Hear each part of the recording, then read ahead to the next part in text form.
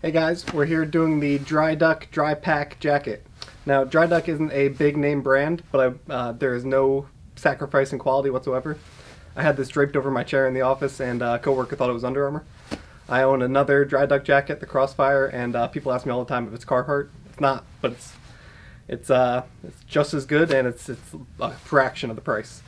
Um, this jacket in particular, though, has everything you need and more. Uh, it's made of 100% ripstop polyester.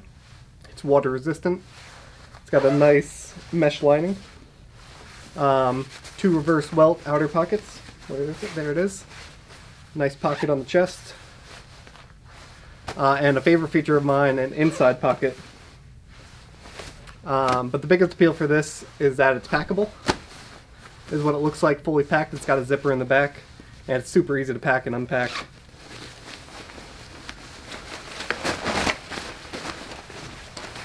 Boom, that's all it takes. The Dri Duck Dri Pack Jacket, available today, fieldsupply.com.